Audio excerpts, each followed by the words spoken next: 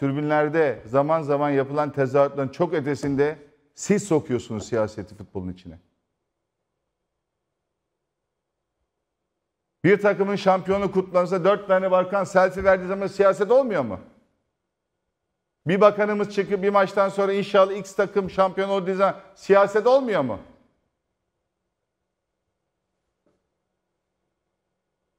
Cumartesi, pazar günü yaşanan maçlardan sonra belli kulüpleri arayıp açıklama zorlamasına girince siyaset olmuyor mu?